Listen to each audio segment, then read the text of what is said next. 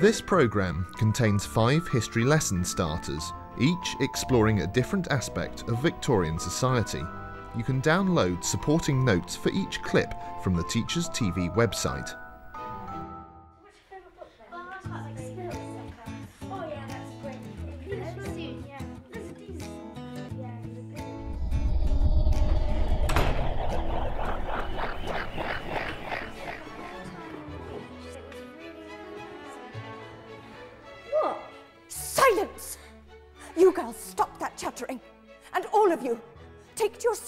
Immediately.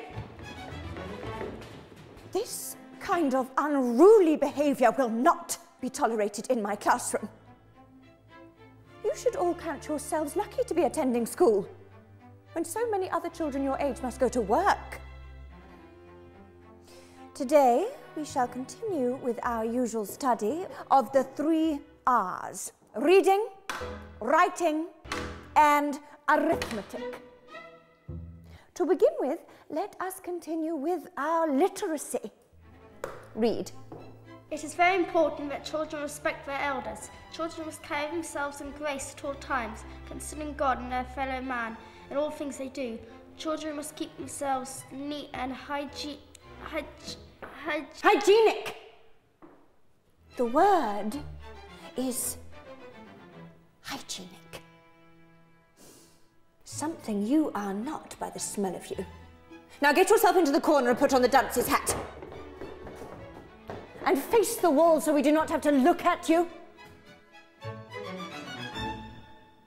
You will all now repeat the final sentence.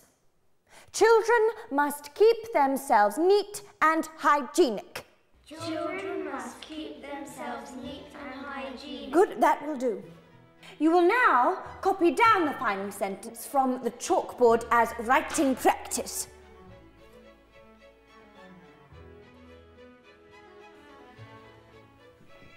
What on earth are you waiting for? Have you forgotten how to write? Then use the tools in front of you.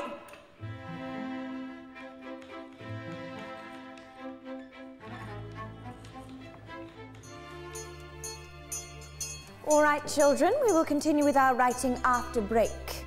You may make your way outside in an orderly fashion.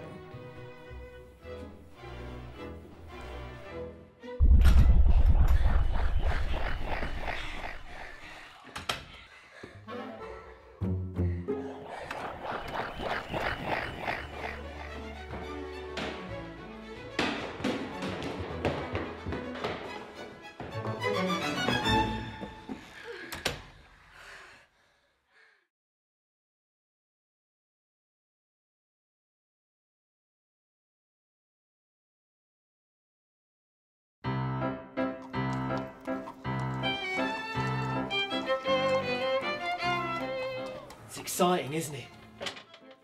Just think, in under a week, the great exhibition will finally be open. Personally, I feel like I've seen the whole thing already. What we're staying up day and night, printing off these catalogues. It's the Queen's husband, you see, Prince Albert. He wanted to prove to the world that Britain was top dog in, well, everything really. So he's collected together hundreds of examples of miracles of the modern age. There are so many of them they had to build that crystal palace to show them all off in. Take this one, for example. This is Frederick Bakewell's copying telegraph. You write your message out on a sheet of tinfoil and it spins round and round on this drum. Clockwork moves the arm across your message and it's scanned using electricity. The signal can then reproduce your handwritten message many miles away on another machine. Some people are calling it a facsimile, or a fax machine for short.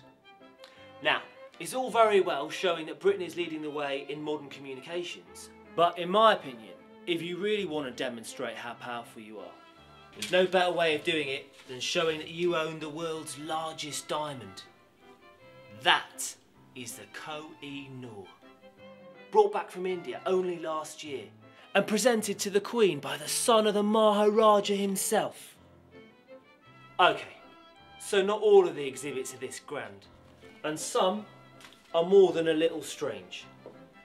For example, this chap, George Jennings, has built, and wait for this, toilets in the retiring rooms at the exhibition. And get this, anyone can pay to go and use them. I know, public toilets. For a penny, you get a clean seat, a towel, a comb, and a shoe shine. Everyone's talking about wanting to come to the Great Exhibition just so they can spend a penny. Speaking of which, I've got to nip out back to the privy before I finish this printing. This may not be the Great Exhibition, but at least there's plenty of paper.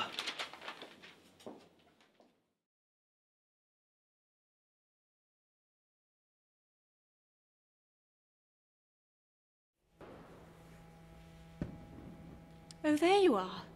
I wondered where you'd got to. Oh, you can put those bandages down there on the table next to you. It calms down a bit here in the evenings. The doctors have to stop at some point. Nevertheless, there's still work to be done. I suppose you want to know what I do. Everybody does since that article in the Times. A friend of mine posted it to me. I have it here. Now, what did they say? She may be observed alone, with a little lamp in her hand, making her solitary rounds. The lady with the lamp. That's what they're calling me back home, apparently. Ah, I don't know what they think the lamp does to help these poor souls. What they need is proper medical attention. We lost 4,000 during the winter, just in this hospital alone. That's if you can call it a hospital.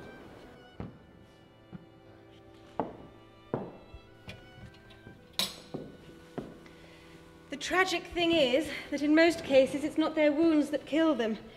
It's the illnesses they contract while they're lying here.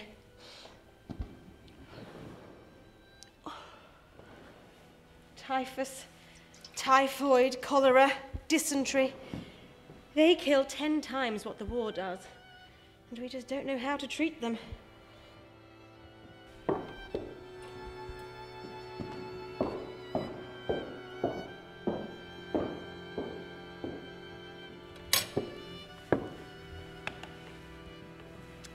I've encouraged some of my patients to try the spa the locals go to. You know, like a bathhouse for sick people. I've been making notes on their recovery, and I really think it helps. I keep thinking I ought to write my notes down properly in a book. I'd call it Notes on Nursing. It has a ring to it, don't you think? Mind you, I don't suppose anyone would actually take me seriously. Women from my background are supposed to get married and have children, not work abroad in the middle of a war.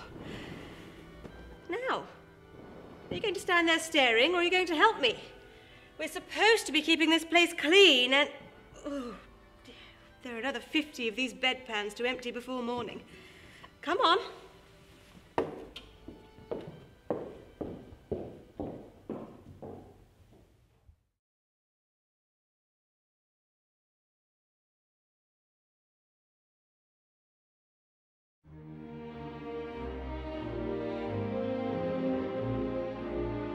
First ship was a paddle steamer called the Great Western, constructed of wood. And a year later, the Great Western Steamship Company asked me to design another ship, and I came up with this. The SS Great Britain was nicknamed the Leviathan when they were building it because it was huge. And it was the first ship in the world to be constructed from iron with a screw propeller. The whole thing was built by hand, every rivet hole. It really set the precedent for ships after that. Many people thought I was an idiot to build a ship from iron because they immediately thought it was going to sink. Um, but I knew as long as it was constructed along the lines of a ship and it was airtight, of course it would float. So it's a completely modern experiment, this ship. This ship was purely built originally as a, as a luxury liner for first and second class travel. Um, so it was built to take people in, in considerable style across the Atlantic. But often, if you were a first class passenger, you could have chilled champagne whenever you wanted, 12 course dinners. If you were poor, it was much harder you'd write letters, maybe read books, or, or try and try and amuse yourself as best you could because the tedium of it was unbelievable. The engine was the largest and most powerful on the planet. in 1845. It was a 1,000 horsepower engine and it weighed 380 tons of wrought iron. This ship went on to have a 92 year working career, which is astonishing. And from this ship, you could say that every modern ship is descended. It was the first of its kind, and every ship in the world today owes something to this one.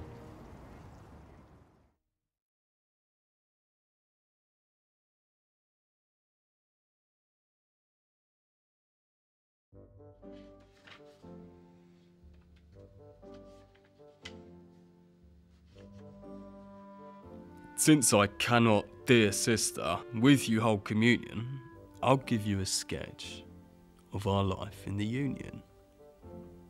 But how to begin? I don't know, I declare. Let me see. Well, the first is our grand bill of fare. We've skilly for breakfast, at night, bread and cheese, and we eat it and then go to bed, if you please. Two days in the week, we have puddings for dinner. And two, we have broth, so like water, but thinner. Two, meat and potatoes, of this none to spare. One day, bread and cheese. And this is our fare. And now then, my clothes I will try to portray. They're made of coarse cloth, and the colour is grey. My jacket and waistcoat don't fit me at all. My shirt is too short, or I am too tall. My shoes are not pairs, but of course I have to. They're down at heel, my stockings are blue. A sort of Scotch bonnet we wear on our heads. And I sleep in a room where there are 14 beds.